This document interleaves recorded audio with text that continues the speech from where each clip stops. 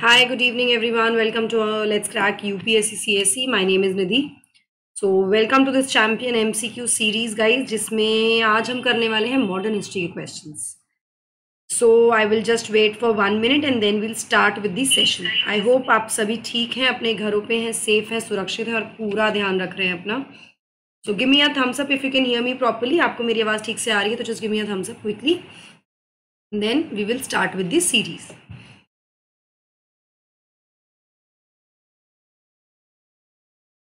चलिए।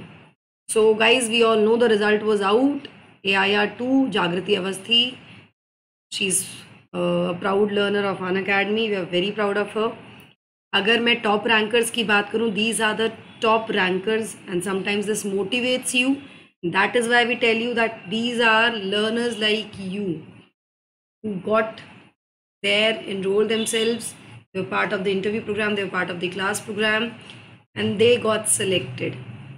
Anybody who is dedicated wants to do it can do it correct so these are the top rankers top 7 rankers in top 20 you can see it here top 2 ARI 2 uh, with Jagrati uh, Avasthi then we have Apala Mishra we have Satyam Gandhi और आजकल आप regularly इनके सभी के interviews भी देख रहे होंगे अन अकेडमी के अलग अलग प्लेटफॉर्म्स पर this is Gaurav Budania Karishma Nair Arth Jain Bodhi Shetty Srija these are the selected top twenty candidates they are just like you guys okay before we move forward we just given ये special week चल रहा है इस समय twenty eight to thirtieth तक का ये offer है जिसमें आपको special ten percent extra discount मिल रहा है. If you are going planning to go for subscription go for it right now the code that you have to use is N D live ten this is the code that you need to use and you can become part of and E squad and I'll be there to help you through and through one year two year three year तीनों के लिए ही combo subscription and G S subscription आपको यहाँ देखने को मिल रहा है गाइज़ कॉम्बैट हर संडे होता है. Again the trick is use this code and attempt enrol for the combat you can get scholarship as well as this is your self assessment चलो this is my profile Unacademy my code again is N D life ten आप इस कोड का इस्तेमाल कर सकते हैं to gain subscription पे टेन परसेंट का discount and also attempt attend all the free sessions on Unacademy platform this is the Telegram channel जहाँ पे आप मुझे ज्वाइन कर सकते हैं कनेक्ट कर सकते हैं। Good evening good evening everyone PDF के लिए और क्लास इन्फॉर्मेशन के लिए। चलो let's start with the questions now चलिए। So will have thirty seconds each question फिर the for each question and then will move forward with the answer पहला question है who of the following organise a march on Tanjore coast to break the salt law in April 1930 इनमें से किसने मार्च किया था Tanjore coast को coast पे to break salt law April 1930 में। ठीक है? V O Chidambaram Pillai C Rajagopalachari K Kamaraj Annie Besant okay so everybody saying one is b guys the answer is b absolutely right it is c rajagopalachari he organized a march on the tanjore coast to break the salt law in april 1930 from where to where from trinchopalli to vedarniyam on tanjore coast it is also called as vedarniyam satyagraha इसके नाम से भी इसको जाना जाता है ठीक है Now, the 1929 session of the Indian National Congress is the is of significance in the history of freedom movement because उन्नीस का जो सत्र हुआ था इंडियन नेशनल कांग्रेस का वो भारत की हिस्ट्री में हिस्ट्री में या फ्रीडम स्ट्रगल में क्यों महत्वपूर्ण है? Attainment of self government was declared as the objective of Congress attainment of Purna Swaraj was adopted as the goal of the Congress non cooperation movement was launch decision to participate in RTC in London was taken question number तो हिंदी में भी आप पढ़ सकते हैं and English में भी पढ़ सकते हैं, जैसे आपको सहूलियत रहे।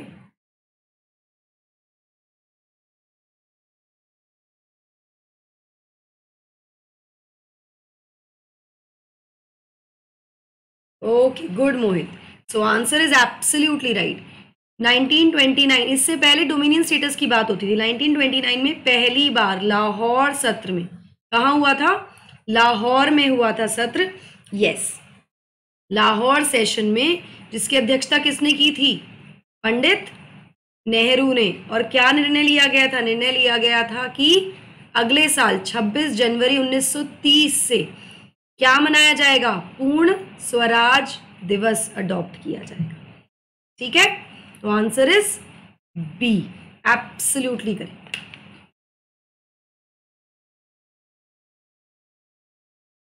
ये मैंने आपको बता दिया। ठीक है? कब पारित हुआ था? 19 दिसंबर उन्नीस सौ उनतीस को। चलिए। The seventeen year old teen age girl Gaidinliu led the civil disobedience movement in 1932 and she was sentenced to life imprisonment. Who among the following called her as Rani Gandinillu? बताइए। जवाहरलाल नेहरू, महात्मा गांधी, सुभाष चंद्र बोस, सरदार वल्लभ भाई पटेल। बच्चों, जल्दी से सेशन को share भी कर दो with all your friends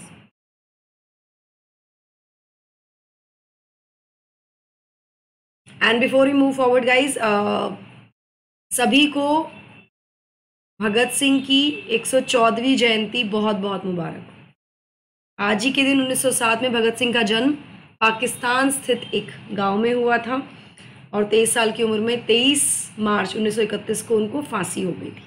इसके साथ राजगुरु और सुखदेव के साथ। तो आज भगत सिंह की जन्म जयंती है। सभी को बहुत बहुत बधाई हो। मॉडर्न हिस्ट्री पढ़ भी रहे हैं।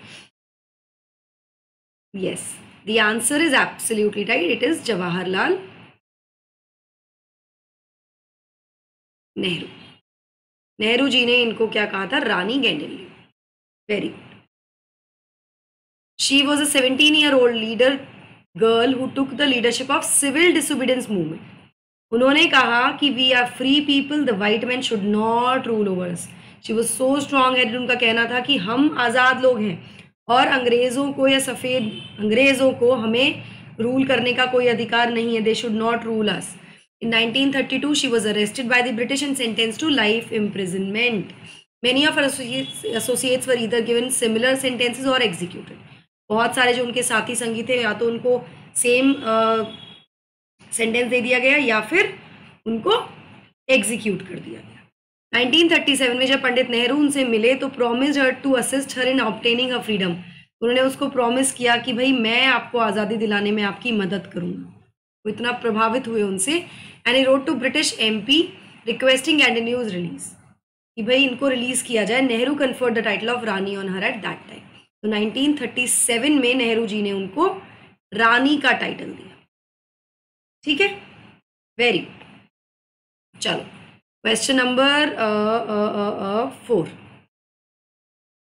Consider the following statement regarding to the civil disobedience movement. CDM से संबंधित statement बतानी है हमें 1930 Mahatma Gandhi started the civil disobedience movement from Dandi Dandi से शुरू किया गया ये in civil disobedience movement Hindu Muslim unity was missing civil disobedience movement के समय सीडीएम में हिंदू मुस्लिम यूनिटी नहीं थी नहीं देखी गई Saroj Naidu and Durgabai Deshmukh were the women who participated in Dandi march और दो महिला जिन्होंने मुख्य रूप से जिन्होंने पार्टिसिपेट किया, दांडी मार्च में वो कौन थी? सरोज नायडू और दुर्गा भाई देशमुख। इनमें से कौन सा स्टेटमेंट करेक्ट है हमें बताना है? सेशन को शेयर कर दीजिए बच्चों so that everybody can come and join us and tomorrow will have the ecology environment session tomorrow will have ecology environment ठीक है?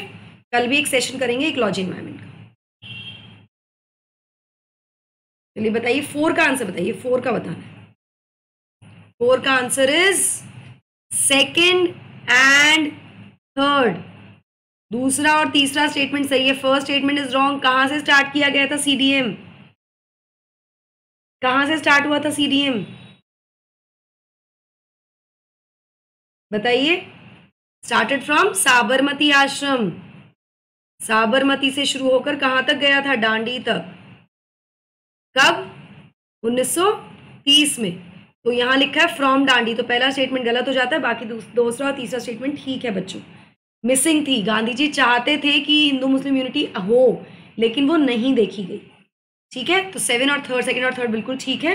Very good first is wrong चलो। साबरमती आश्रम टू डांडी।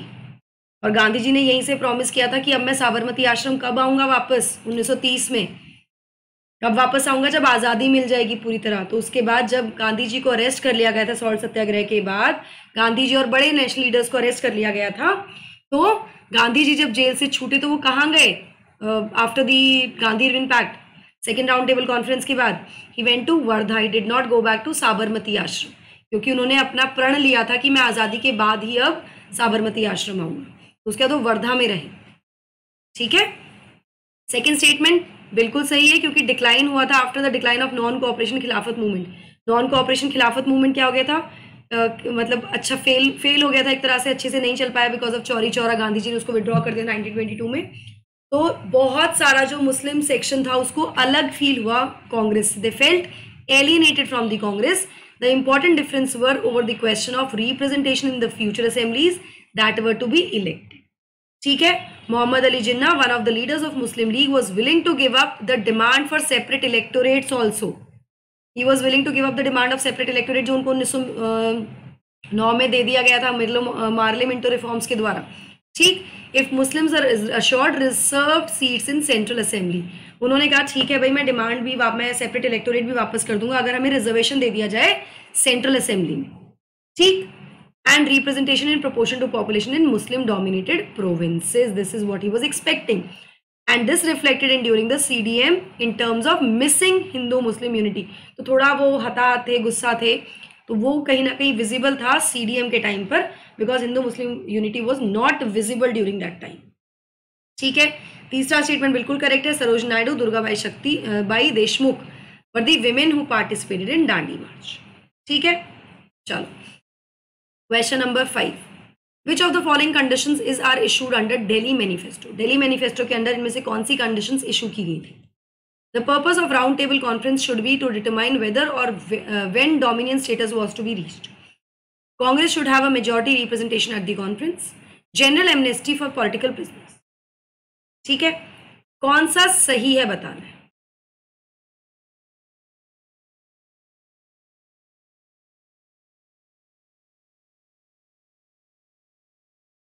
क्विकली बताइए। अपने हिसाब से थर्टी सेकंड ले लिया कीजिए बच्चे क्वेश्चन आते ही ना, क्योंकि मेरा थोड़ा टेन मिनट का लैग चलता है आई थिंक मेरी बोलने में और आपके क्वेश्चन करने में।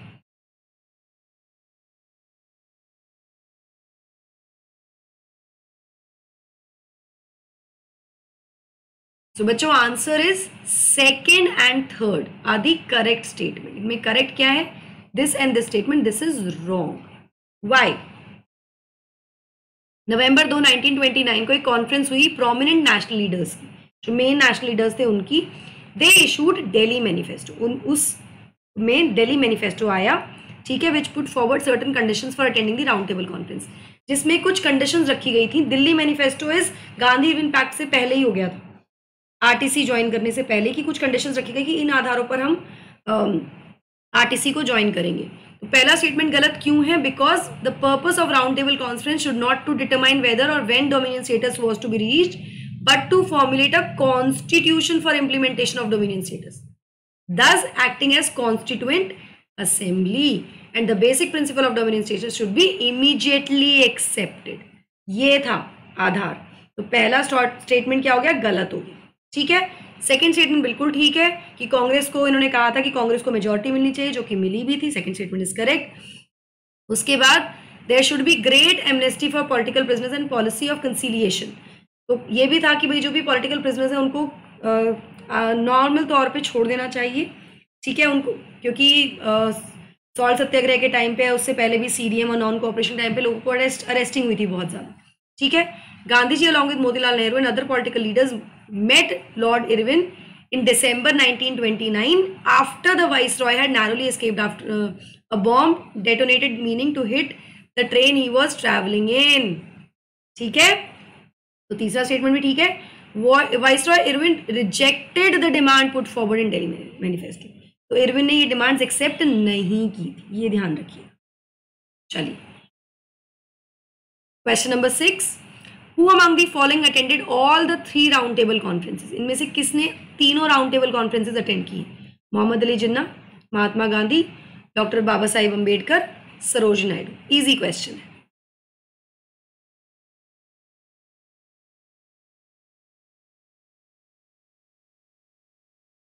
तीनों कॉन्फ्रेंस किसने अटेंड की थी बच्चों?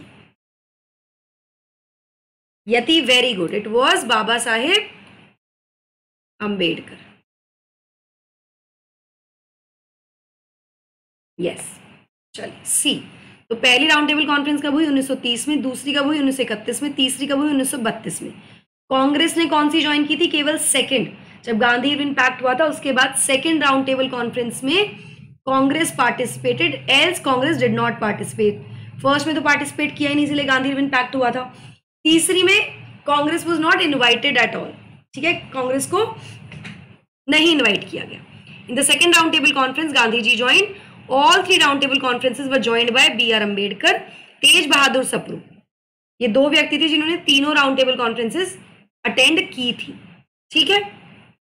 चलिए क्वेश्चन नंबर सेवन इनमें से कौन सा पैर सही है बताना करेक्टली मैच कौन सा है? धरसाना सत्याग्रह, सरोज नायडू। मायापडु सत्याग्रह, कलप्पम, के कलप्पम। अंकोला सत्याग्रह, बी गोपाल रेड्डी। कौन सा सही करेक्टली मैच है इसमें से?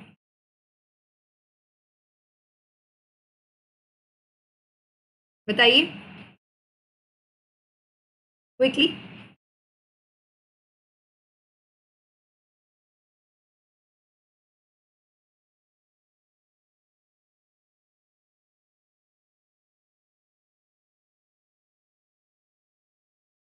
सो बच्चों answer is B only first is correct Dharasana satyagraha Sarojini Naidu. Absolutely correct तो दरसाना सत्याग्रह क्या हुआ था? ये प्रोटेस्ट था against the British salt tax ये भी ब्रिटिश के खिलाफ जो सॉल्ट टैक्स था, उसके विरुद्ध ये सत्याग्रह किया गया। As the next protest against British rule Mahatma Gandhi chose a non violent raid of Dharasana salt works in Gujarat तो इसको एज नॉन वायलेंट हाँ बेटा, तभी तो ये क्वेश्चंस आपको कराए जा रहे हैं, ताकि पहली बार सुन के आपको याद हो जाए चीज़ें। कई बार आप चीज़ें किताबों में नहीं पढ़ते हो अलग अलग किताबों से क्वेश्चंस बन जाते हैं तो इस तरह के टेस्ट सीरीज़ से आपको बेनिफिट मिलता है कि कुछ चीज़ें जो नहीं सुनी है, वो भी आप सुन लेते हो। वो भी आपको पता लग जाती है। All right good evening everyone तो गांधी जी ने एक नॉन वायलेंट रेड की बात की धरसाना सॉल्ट वर्क्स में, गुजरात में। Following the end of salt Satya march to डांडी जो सॉल्ट मार्च डांडी का था, उसके बाद, ठीक है? This peaceful movement under the leadership of Saroj Naidu after the arrest of Abbas Tyabji and Gandhi ji wife Kasturba ठीक है तो इससे पहले अब्बास तैयब जी और गांधी जी की वाइफ कस्तूरबा भी इसका हिस्सा बने। उनकी अरेस्टिंग के बाद किसकी लीडरशिप में गया कंटिन्यू हुआ ये सरोजन नायडू की लीडरशिप में। दरसाना सत्याग्रह सरोजन नायडू से रिलेटेड है सॉल्ट टैक्स के विरुद्ध। ठीक है? सेकेंड पेयर इनकरेक्ट है, मायपाडू सत्याग्रह किसके अंडर था? Was carried out under the leadership of B Gopal Reddy और Ankola satyagraha under the leadership of M P Nadkarni ठीक है? चलिए। Consider the following statement regarding the Poona pact Poona pact के संबंध में बताना है। It provided for it provides for the joint electorate for depress class candidate Poona pact में क्या हुआ था? It allotted less allotted less number of seats than a communal award it was an agreement between Mahatma Gandhi and British government इनमें से कौन सा statement correct है बताना है। गुड इवनिंग एवरीवन बताइए पूना पैक्ट इनमें से किससे संबंधित है?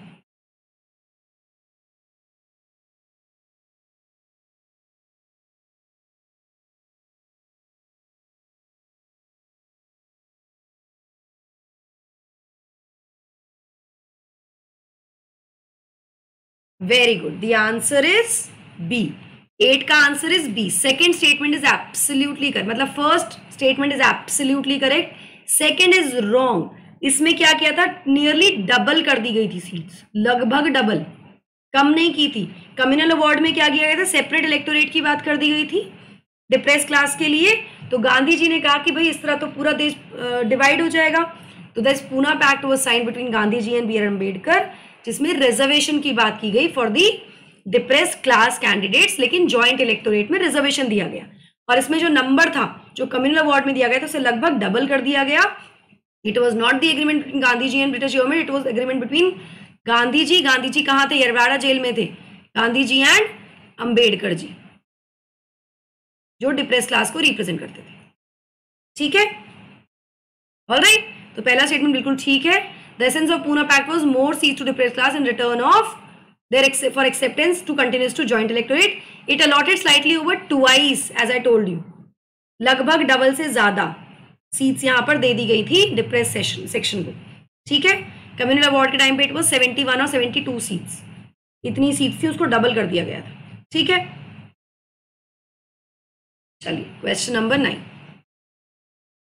consider the following statement regarding the Karachi session 1931 of the Congress Karachi session के बारे में बताना है Gandhi Irwin pact was endorsed Gandhi Irwin समझौते का समर्थन किया गया गोल ऑफ़ पूर्ण स्वराज वॉज़ रिटेरिटेड पूर्ण स्वराज के लक्ष्य को दोहराया गया resolution for fundamental rights was adopted मौलिक अधिकारों का संकल्प अपनाया गया कौन सा स्टेटमेंट सही है बताना है कराची सत्र 1931 यस इट वाज 147 सीट्स लगभग डबल से थोड़ा सा ज़्यादा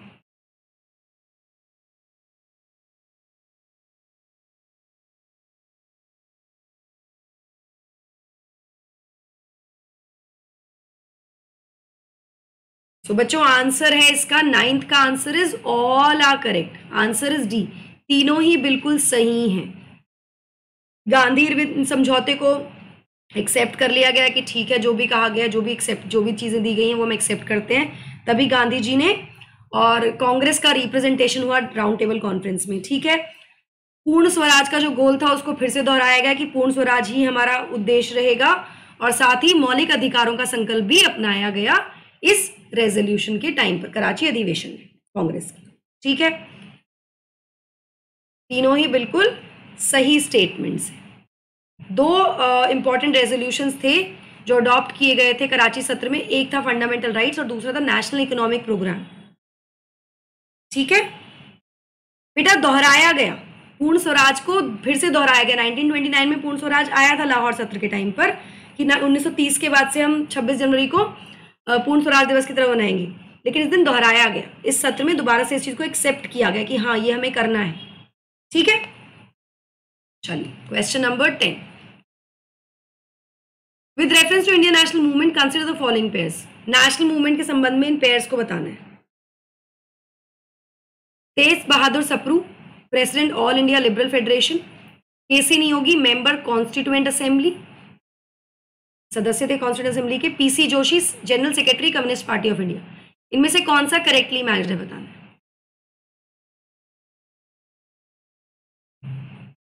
Correctly matched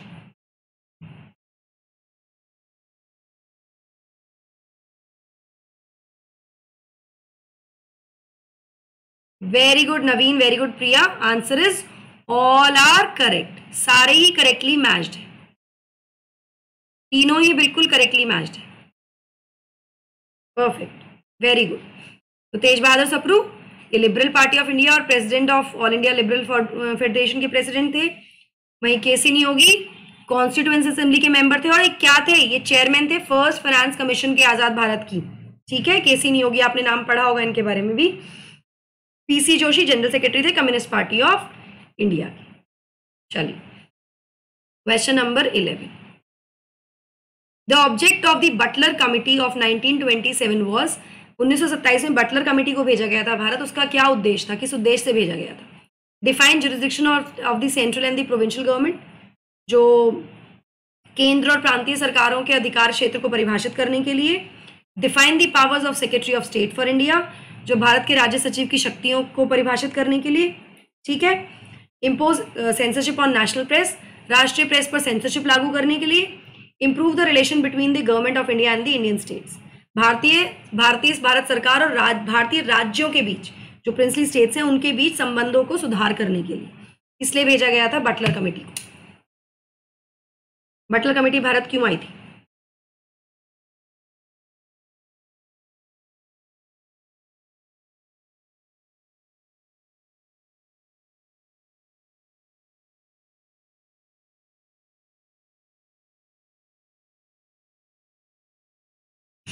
बताइए, इलेवन का आंसर बताइए।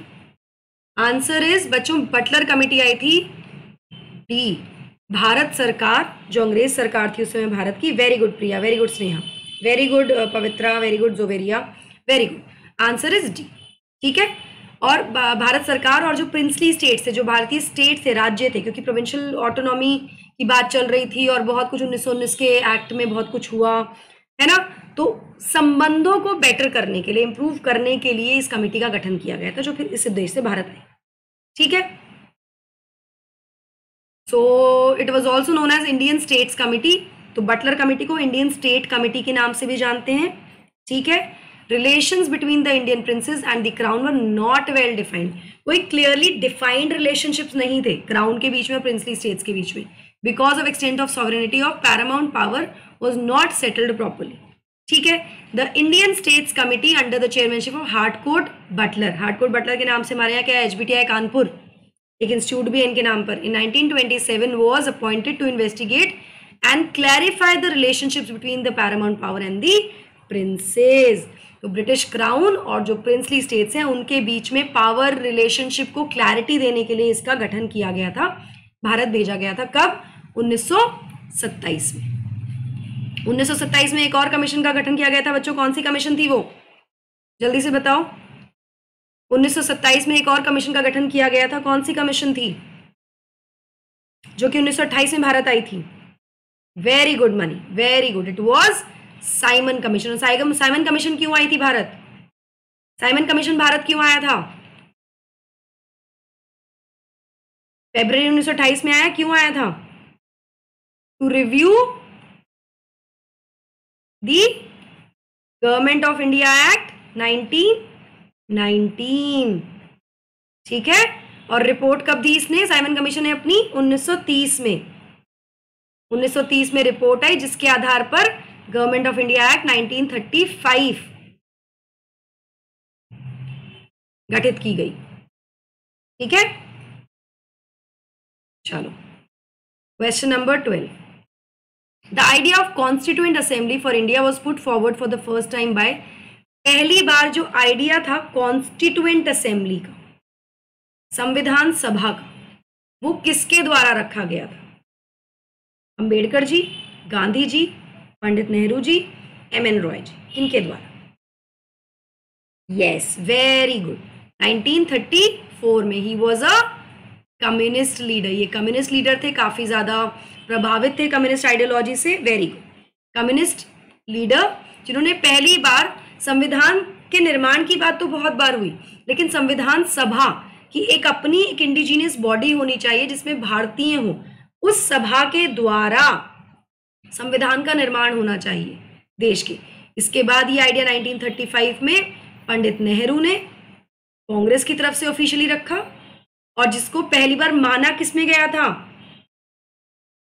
ब्रिटिश गवर्नमेंट ने पहली बार इसको एक्नॉलेज कब किया था बच्चों? अगस्त प्रस्ताव। ठीक है? और भारतीय संविधान निर्माण किस कमेटी के आधार पर हुआ था? भारतीय संविधान का निर्माण किस कमेटी के अंतर्गत हुआ?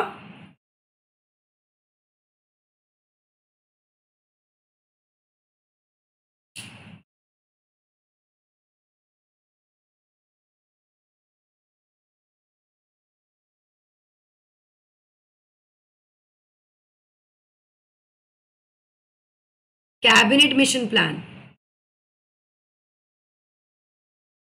जिसने संविधान सभा की बात भी की और उसके बाद इंटरिम गवर्नमेंट और संविधान के निर्माण की बात भी इसी के द्वारा की गई। ठीक है? चलिए।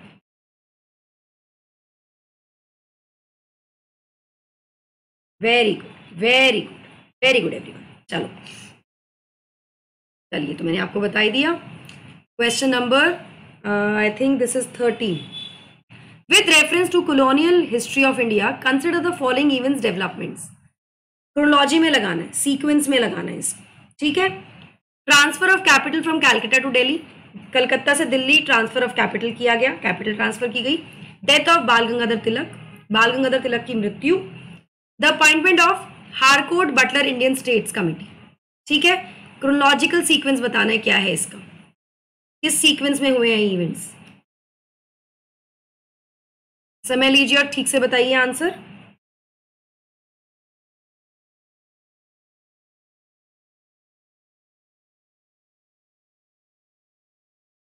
very good right sequence is one two three Delhi Calcutta से दिल्ली ट्रांसफ़र कब हुआ? जब अनलमेंट हुआ बंगाल के पार्टीशन का, बंगाल के विभाजन का कब हुआ था? 1911 मृत्यु तिलक की 1920 बटलर कमेटी अभी पढ़ा हमने थोड़ी देर पहले 1927 तो sequences one two and three तो कैपिटल ट्रांसफ़र कब हुई? 1911 में, मैं जैसे मैंने बताया आपको, जब बंगाल का जो पार्टीशन था, उसको अनल कर दिया गया था। गंगाधर तिलक की मृत्यु हुई 1920 में।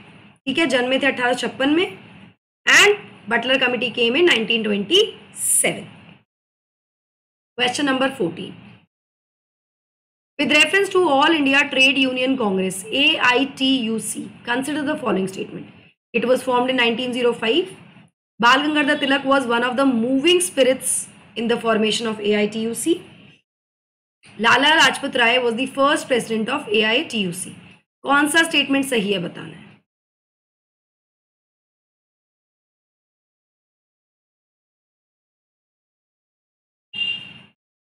अट्ठारह सौ छप्पन। जितेंद्र, आपने क्या लिखा ये?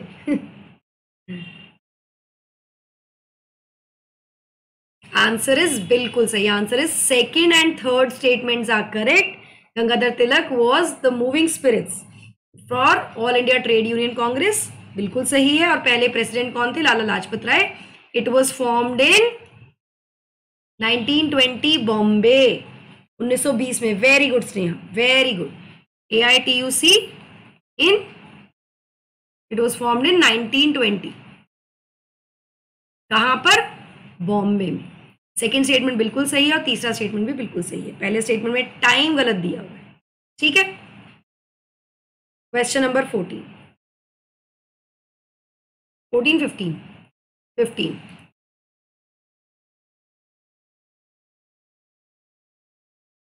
With reference to Congress Khilafat Swaraj Party, better known later as Swaraj party consider the following statement जो स्वराज पार्टी थी thank you Sneha that so sweet of you thank you so much and I been I been seeing you coming to my class regularly that's really nice तो कल भी होगी हमारी class एक ecology environment question करेंगे। तो polity कर चुके हैं हिस्ट्री कर चुके हैं। कल इकोलॉजी इन्वायरमेंट भी करेंगे। ठीक है? चलिए। Vallabh bhai Patel and Rajendra Prasad were the founding members of Swaraj party it was formed in 1928 it decided to take part in legislative council elections. इसने डिसाइड किया था लेजिस्लेटिव काउंसिल इलेक्शन में participate करना। कौन सा statement सही है बताना है?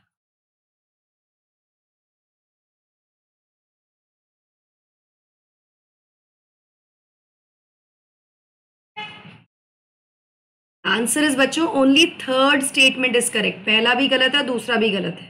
कैसे? पहला स्टेटमेंट कैसे गलत है?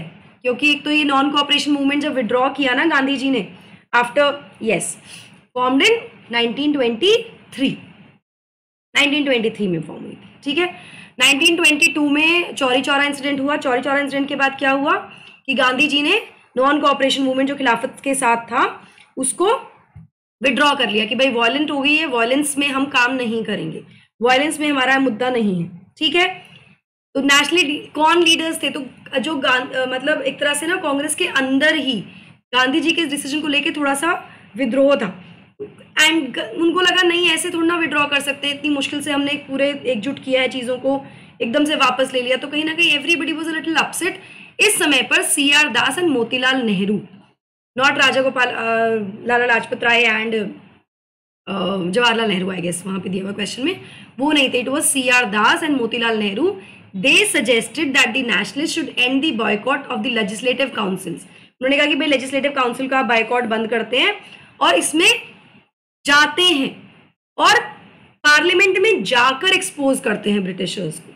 ठीक है? Expose them as sham parliaments and as a mask which the bureaucracy has put on and obstruct every work of the council कि विद इन द काउंसिल जाके we should what we should give show the people the right faces from within yes yes yes no changes and pro changes बन गए थे उस समय पर कुछ थे जो no they didn't want any kind of change and they were pro changes who wanted change ठीक है C R Das as the president of the congress and Motilal as it secretary put forward this programme of either mending और ending the councils at Gaya session of the congress in December 1922 Gaya सत्र में निर्धारित किया।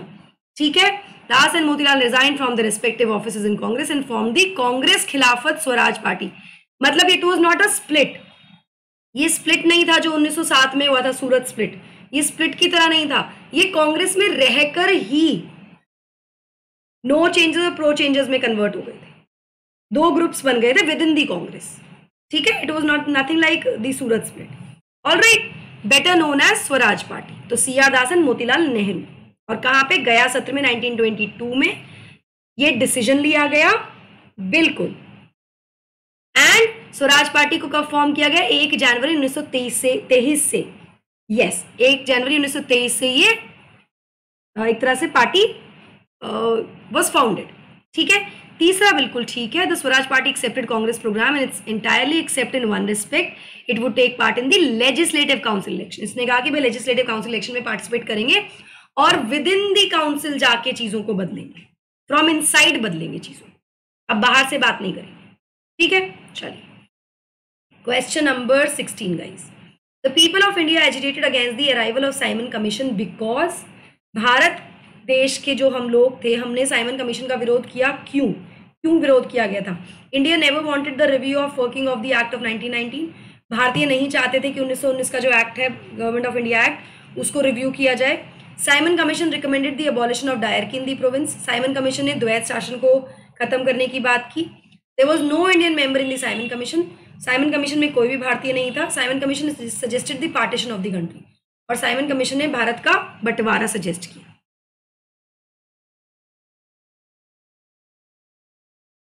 So the answer is guys, absolutely.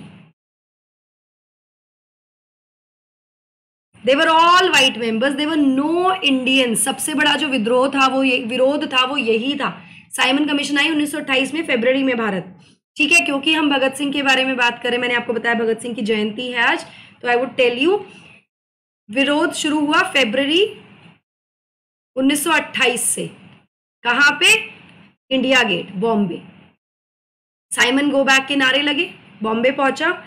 अक्टूबर में लाला लाजपत राय। लाला जी ने लाहौर में students के साथ मिलकर साइमन कमीशन का विरोध किया 1928 में ही 1928 में ही। जिसके बाद वहाँ पर हुआ क्या? लाठी चार्ज। और लाठी चार्ज में, उस लाठी चार्ज का इंचार्ज कौन था? सॉन्डर्स उस लाठी चार्ज में लाला जी के सर पर लगी चोट। ठीक, जिसकी वजह से उनकी एक महीने बाद हो गई मृत्यु। उस मृत्यु का बदला लेने के लिए भगत सिंह ने क्या किया था? भगत सिंह, सुखदेव, चंद्रशेखर आज़ाद, इन सबने मिलकर क्या रचा? सॉन्डर्स की हत्या का षड्यंत्र और उनको मारा, जिसको लाहौर कॉन्स्पिरसी के नाम से भी जाना जाता है। उसके बाद फिर से लाठीचार्ज हुए और ये लोग देख दे कुड एस्केप नहीं नहीं सॉन्डर्स को मार दिया था, गोली मार दी थी बेटा। ठीक है, उसके बाद ये लोग तो चले गए, लेकिन जो वहाँ की जो जनता थी, उन पे लाठी चार्ज करा, उन पे अत्याचार किया। तो लोगों ने कहा कि खुद तो ये निकल गए। सारा ब्लेम सर जनता पर आ गया। तो ऐसे में जो हिंदुस्तान रिपब्लिकन एसोसिएशन, उन्होंने निर्धारित किया, उन्होंने डिसाइड किया कि हम सामने आएँगे अब इस चीज़ के लिए। और इसके बाद दी पब्लिक सेफ्टी बिल के अगेंस्ट इन्होंने असेंबली में बॉम्ब फोड़ा, जिसमें कि किसी को नुकसान नहीं पहुँचाया। किसी को नुकसान नहीं पहुँचाया, लेकिन ये सामने आ गए। और फिर इन पर केस चला, फिर सॉन्डर्स की हत्या का केस भी सामने आया है उसके बाद इनको फांसी हुई। रेस्ट इज़ हिस्ट्री ठीक है तो आज भगत सिंह की जयंती है, एक सौ जयंती है, बच्चों, इसलिए मैंने बता भी दिया। ठीक है, चलिए। चलो ये मैंने आपको बता दिया। Question number seventeen sixteen seventeen seventeen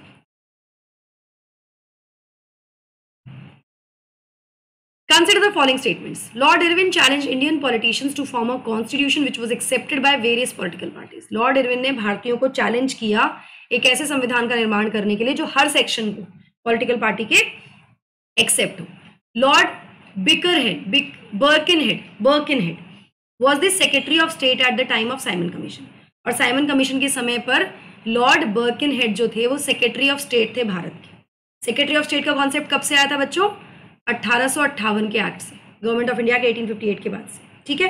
कौन सा स्टेटमेंट करेक्ट है?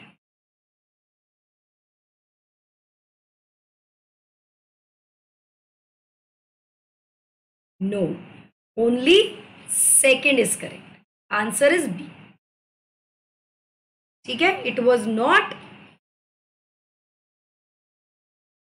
lord Birkenhead challenge lord Irwin ने चैलेंज नहीं किया था, किसने? बर्किन हेड ने चैलेंज किया था भारतीय पॉलिटिशियंस को कि बनाओ ऐसा कॉन्स्टिट्यूशन जो सभी के लिए, सभी को acceptable it was not lord Irwin Irwin ने चैलेंज नहीं किया था। It was the secretary of state for India which was lord Birkenhead ठीक है? Leaders of nationalist movement responded to the challenge by drafting Nehru report और इस challenge को accept करके कांग्रेस के नेताओं ने क्या ड्राफ्ट किया फिर? The famous Nehru report report ठीक है? Second statement is absolutely correct तो इसमें lord Birkenhead was the secretary of state lord Irwin was the governor general of India that time ठीक है? आई नो चलो question number eighteen who among the following decided to welcome the Simon commission अब हम विरोध के बारे में तो पढ़ रहे हैं कि विरोध हुआ साइमन कमीशन को बहुत विरोध फेस करना पड़ा सब कुछ, लेकिन कोई, कुछ पार्ट ऑफ़ द कंट्री कुछ पार्ट ऑफ़ द कुछ section of the country were accepting they welcome Simon commission वो कौन सा पार्ट था? Unionist of in Punjab justice party in south section of Muslim league led by Mohammad Ali Jinnah question ठीक से पढ़ना and then answer कौन सा सही है? किसने समर्थन किया साइमन कमीशन का?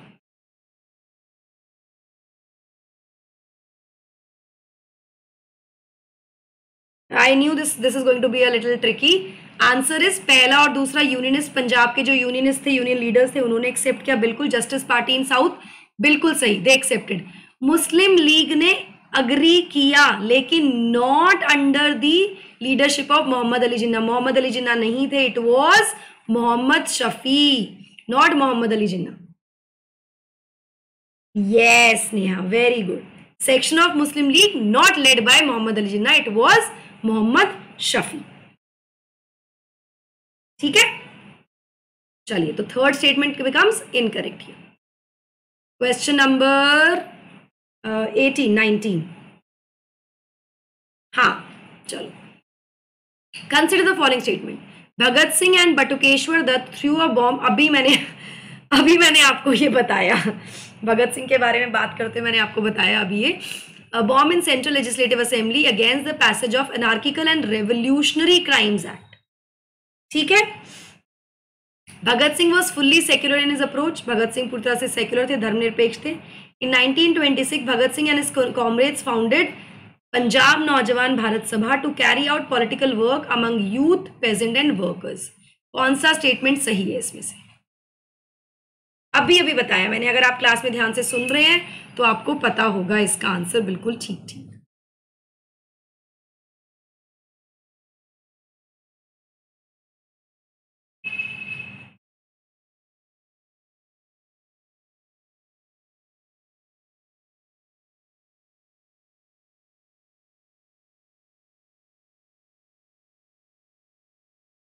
बताइए।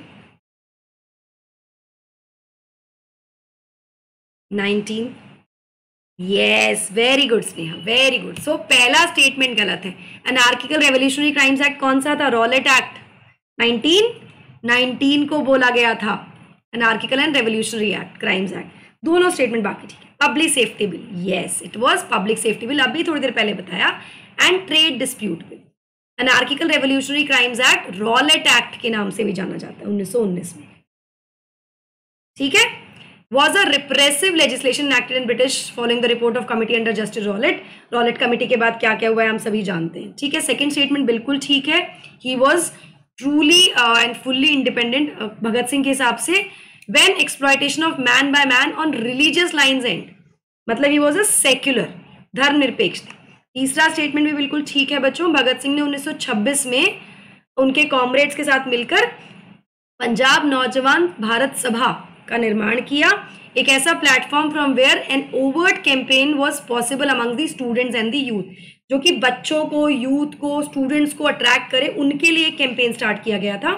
और इसके जो रेवोल्यूशनरी आइडियाज़ थे, वो आइडिया थे फ्रीडम के इक्वालिटी के economic emancipation stirred the youth to an unprecedented degree सबको मतलब एकदम से हिला दिया था कि नहीं this is what is wanted what is needed Its activities led to the founding of youth leagues and student unions in several towns throughout India.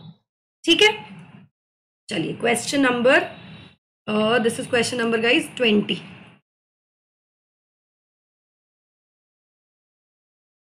Consider the following statement regarding Surya Sen Surya Sen के बारे में। H हाँ जी बिल्कुल Hindustan socialist republic association बिल्कुल। ये इसके भी हिस्सा थे लेकिन ये इन्होंने फॉर्म नहीं की थी। पंजाब नौजवान ने फॉर्म की थी फाउंडेड बाय हिम ठीक है? एच एस आर ए का हिस्सा थे। It was retire he was a retired British Indian army personnel Surya Sen के बारे में बताना है। He participated in the non cooperation movement उन्होंने नॉन कोऑपरेशन में पार्टिसिपेट किया। The Chittagong armoury raid was led by him Chittagong armoury raid जो कि नॉन कोऑपरेशन के टाइम पर सॉल्ट सत्याग्रह और गांधी जी के सीडीएम के बाद अरेस्टिंग के बाद की गई थी। ये उन्होंने लीड की थी। कौन सी स्टेटमेंट सही है बतानी है? अबाउट सूर्य से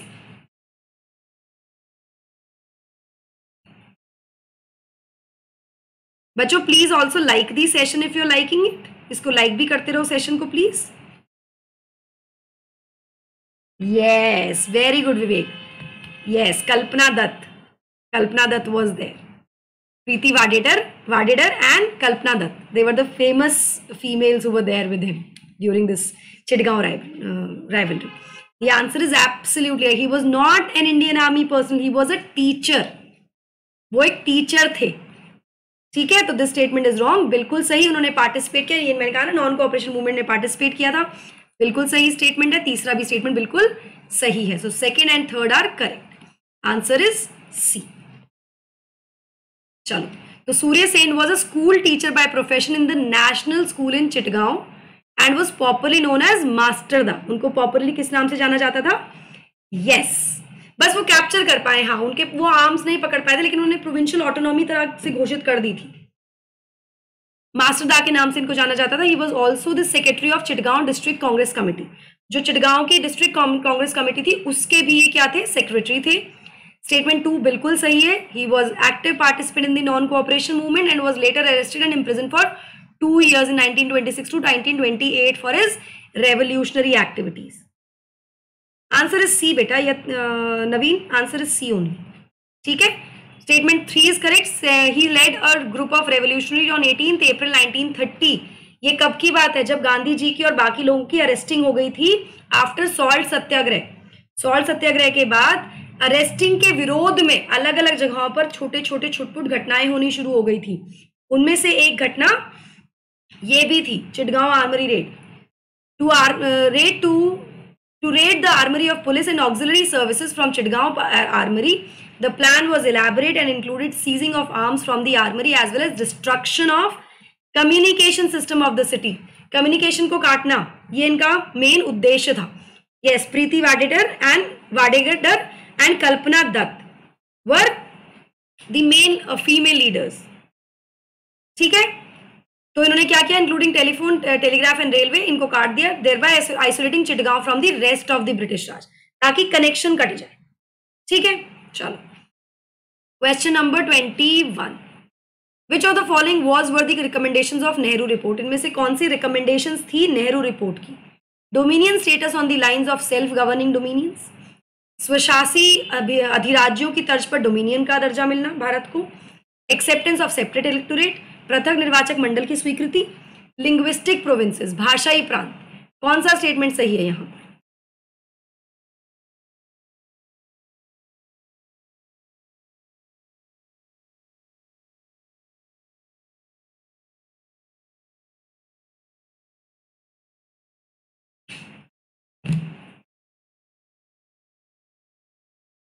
पर yes answer is 1 and 3 nobody wanted to accept separate electorate.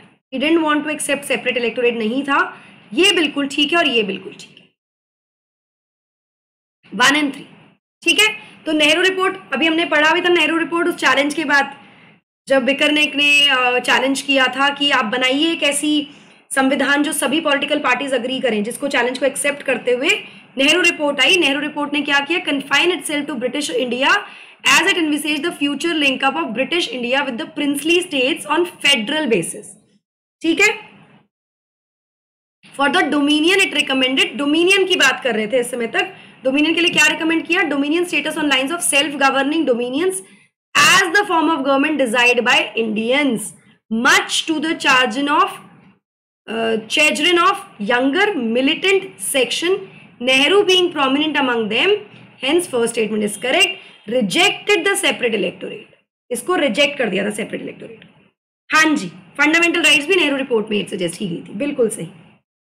ठीक है? लिंग्विस्टिक प्रोविंस की बात की गई थी, बिल्कुल। 19 फंडामेंटल राइट्स 19 फंडामेंटल राइट की बात की गई थी, बिल्कुल। Including equal rights for women right to form unions universal adult suffrage तो ये ध्यान रखिएगा क्या क्या राइट्स थी, ठीक है?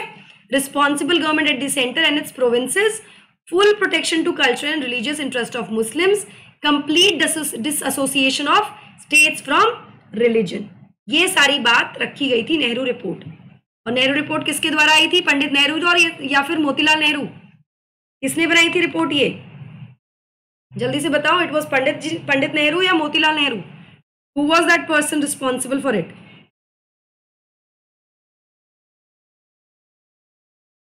Motilal Nehru. Very good. It was Motilal Nehru. Good. Question number 22. Which of the following statement is are correct regarding the result of 1937 elections to the provincial legislature? Around 50% of the population enjoyed the right to vote. The Congress won an absolute majority in 5 out of 11 provinces and formed government in 7 of them. Muslim League fared well in constituencies reserved for Muslim polling nearly 50% of the total Muslim vote. कौन सा सही answer है.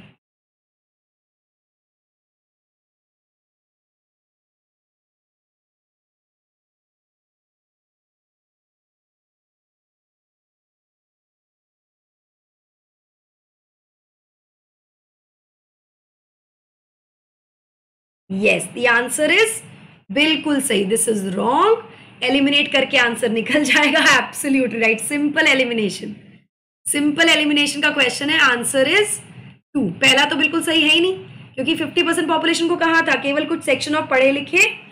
नहीं it's it's B it's B one is not there one is not there ठीक है? It was just ten to twelve percent उन्नीस में जब कांग्रेस ने इलेक्शन लड़ा तो केवल 10 से 12 प्रतिशत भारतीयों को वोटिंग राइट था। किस आधार पर? उनकी पॉपुलेशन और एजुकेशन के आधार ठीक है? पाँच में से इलेवन प्रोविंसेस में एब्सोल्यूट मेजोरिटी थी। उसके बाद बाकी बचे में उन्होंने सात प्रोविंसेस में उन्होंने सरकार बनाई। अब बच्चों, यहाँ पे कुछ कुछ एनसीआरटी कहती है सात प्रोविंसेस और स्पेक्ट्रम के अकॉर्डिंग है आठ प्रोविंसेस तो ये थोड़ा सा एक ट्रिकी चीज़ है यहाँ पर। ठीक है? इसको ध्यान रखिएगा। Please use your description here लेकिन अगर हम बेस्ट आंसर देखें तो बेस्ट इज़ ओनली सेकेंड क्योंकि पहला तो डेफिनेटली गलत है। पहला तो एलिमिनेट करोगे तो UPSC looks for the best answer best is यहाँ पे टू ही बचता है हमारे पास। तो league fail to win single seat in the north west frontier province N W F P में तो लीग को एक भी सीट नहीं मिली and could not capture could capture only two out of eighty four reserve constituencies in Punjab and three out of thirty three in Sindh yes ठीक है? चलो। Number twenty three who among the following was elected as the president of Haripura session of Congress Pandit ji Dadabhai Naoroji Gopal Krishna Gokhale Subhash Chandra Bose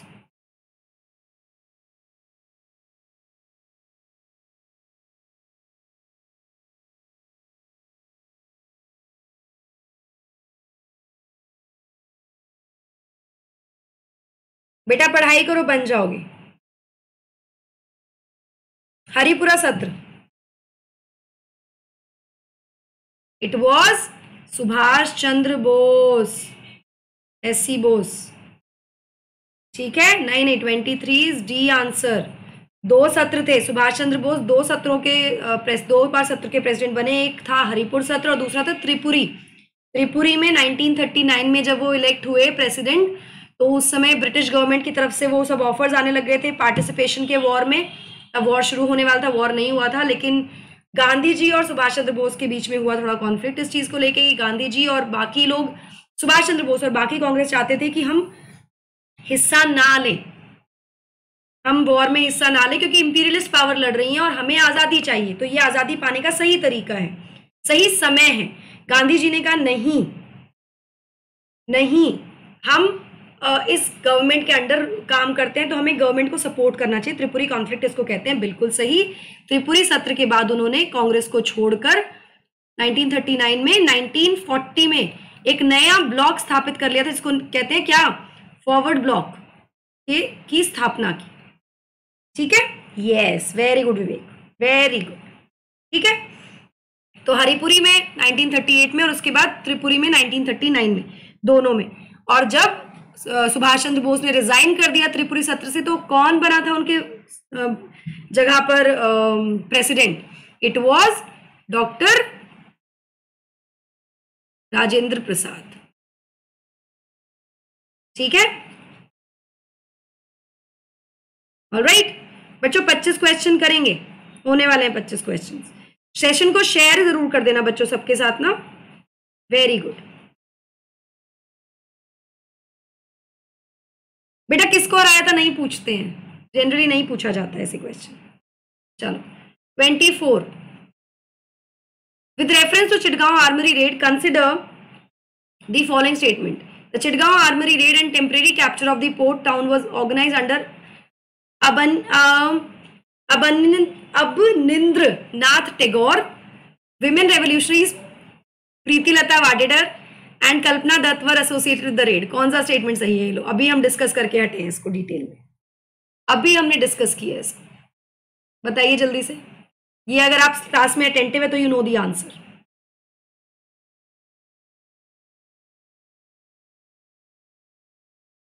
yes the answer is b. Second statement is बिल्कुल correct. First is it was not Abhinand uh, अभी अब निंद्रनाथ Tagore it was Surya Sen ठीक है? हाँ जी बिल्कुल। चलिए। Thank you so much everyone जिन्होंने शेयर किया उनको बहुत बहुत thank you it was Surya Sen not the other person और ये जो है अब चिटगांव जो है वो कहाँ पर है फ़िलहाल? ये बांग्लादेश का हिस्सा है फ़िलहाल ठीक है? और जो लीडर्स थे वो कौन कौन थे? इसमें किस किस ने पार्टिसिपेट किया था? वेरी गुड uh, ये ध्यान रखिएगा बच्चों apart from Surya Sen these patriots included Ganesh Ghosh Loknath Bal, Nirmal Sen, Ambika Chakraborty, Naresh Roy Sasanka Dutt urban Ardhendu Dastidar, Harigopal Bal, Tarakeswar Dastidar, Ananta Singh, Jiban Ghoshal, Anand Gupta, Pritilata Waddedar and Kalpana Dutt. These were the leaders who participated other people other than Surya Sen ठीक है? चलो last question of the day twenty fifth question Sarojini Naidu was the first women president of Indian National Congress in 1980 eighty Kadambini Ganguly who was the first women graduate from Calcutta university had address the congress session कौन सा statement सही है ऊपर? Easy question है आसान question है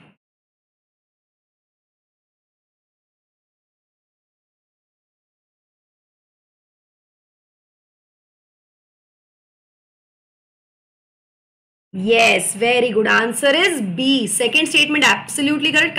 कादम्बिनी गांगुली गांगुली ने पहली बार कांग्रेस का सत्र एड्रेस किया था she was the first women graduate बिल्कुल Saroji Naidu was the first Indian very good legend Saroj Naidu was the first Indian women to become the president of Indian National Congress but actually पहली महिला कौन थी it was any Besant ठीक है Annie Besant was the first women president Saroj Naidu was the first Indian women ठीक है Yes, Kadambini, Ganguly and Chandramukhi Basu were the first two female graduates from India and the entire British Empire. She was also the first South Asian female physician. She was a doctor. Bilkul. Trained in Western medicine to graduate in South Asia. She was one of the six female delegates to the fifth session of INC. पाँचवें session में 1889 में वो गई थी और उन्होंने address किया था इंडियन नेशनल कांग्रेस को 1890 में ठीक है चलो बच्चों so that's it from my side अच्छा बच्चों एक सेशन मेरा होना है अभी स्पेशल क्लास पे if you want to join you can join me there at nine fifteen nine fifteen पे सी सैट का एक सेशन होगा अभी if you want to join आप मेरा लिंक जो है, मेरे टेलीग्राम टेलीग्राम का लिंक आपको नीचे मिल जाएगा, आपको मेरी क्लास का लिंक नीचे मिल जाएगा, आप मुझे टेलीग्राम पे भी फॉलो कर सकते हो। सी सैट कॉम्प्रीहेंशन करेंगे अभी हम क्लास में। So if you guys want you can come and join me there ठीक है, कल हम मिलेंगे प्रॉबेबली छह बजे आई विल टेल यू आपको पता लग जाएगा डिटेल इकोलॉजी एनवायरमेंट के लिए, और we can meet at at P M also whatever suits it is going to be at P M I think at P M is a better time आठ बजे का सेशन रखते हैं। N D live ten yes thank you so much it's N D live ten my code और Unacademy पर आप मुझे search कर सकते हैं, निधि गौर के नाम से तो आपको मेरी क्लासेस मिल जाएँगी स्पेशल क्लास और मेरा फ़िलहाल एक क्लास कोर्स भी चल रहा है प्लेटफॉर्म पे उसको अभी ज्वाइन करना चाहे तो कर सकते हैं। आइकॉनिक में आपको मिलती है personal guidance study planner study material expert guidelines test analysis और प्लस के सभी बेनिफिट जैसे live class weekly test structured courses और unlimited access across the platform subscription के लिए आपको जाकर आपसे पूछा जाता है रेफरल कोड आपको देना है मेरा code